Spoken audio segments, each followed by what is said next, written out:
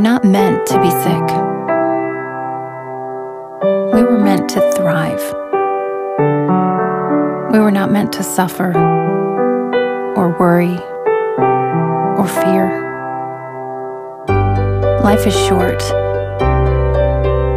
and we were meant to breathe deeply, to age gracefully, to run swiftly, and love unconditionally.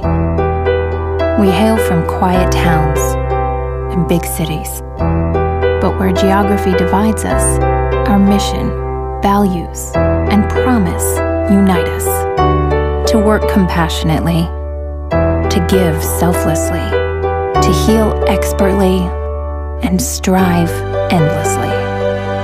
Joined in care to serve countless communities, 23 hospitals, 5 million people across 600 miles.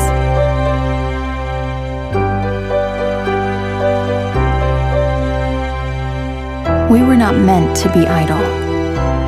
We were meant to serve, to believe to live.